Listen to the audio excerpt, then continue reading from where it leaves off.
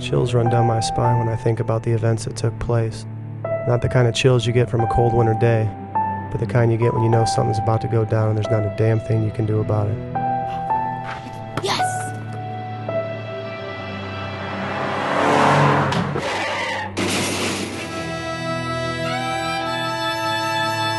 Courts have changed to me since then.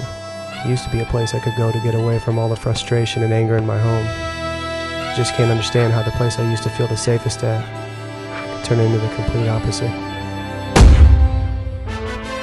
All right. It's America's new favorite pastime, baby. Ain't no coaches, so the hell ain't no rules. You gotta play with confidence and freedom. You gotta be stronger, faster, and tougher than anyone out here. Now you try it again. What do you think's gonna happen to us when we die? You should have passed him in the first place. It's, see, it was just one class. And how you expect to pay the bills around here working part time? I uh, overheard you and Coach talking down in the office. is that? No, no, no, no, don't get me wrong. I didn't mean anything by it. I just I got to thinking and I thought maybe uh, we can help each other out. So, is there anything special you're looking for in a girl? Hey, you lost your mind? Your cousin still owe me some goddamn money. You playing.